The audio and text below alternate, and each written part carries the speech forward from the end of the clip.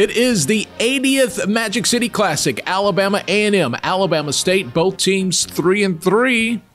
That's going to change. Third and 11, Aqeel Glass. D. Anderson, 37-yard touchdown. Alabama A&M strikes first. The band, what's up, everybody?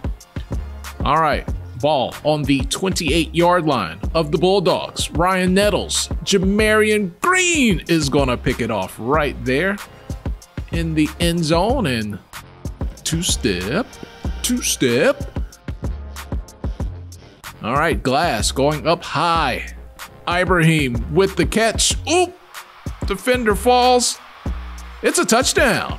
55 yards, 13-7 Alabama A&M. More from Glass. This time, a little handoff to Gary Quarles. 17 yards. He's safe. Alabama A&M up 20 to 7. 11 seconds before the half. Ryan Nettles, he wants to get his face back. He's going to drop back and find Keyshawn Johnson. Little short touchdown there. Makes it a closer ball game at the half. Alabama State cutting into the lead 21-14 Bulldogs at the break. I love that hat, Coach Maynor. Mighty Marching Hornets in the stands.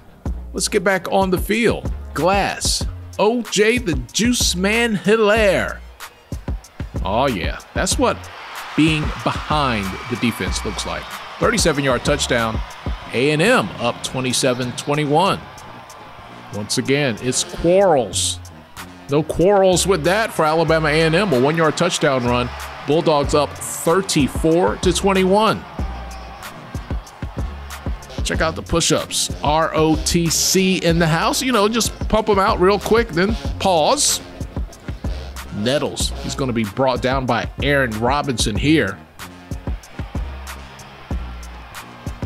But Nettles not done. Back to pass. He's going to find Wallace Corker, not only for the catch, but for the touchdown. touchdown. Alabama State sticking around. The lead down to 35 to 27.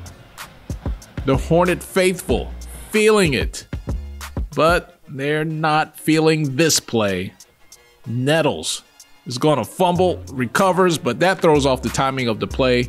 Quantravius Kelly with the sack, and Alabama A&M goes on to win the Magic City Classic 42 to 28.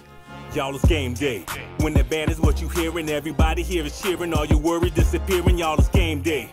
Whether televised or streaming live in person while you're screaming, no more waiting, no more dreaming. Y'all, it's game day. When the band is what you hear and everybody here is cheering.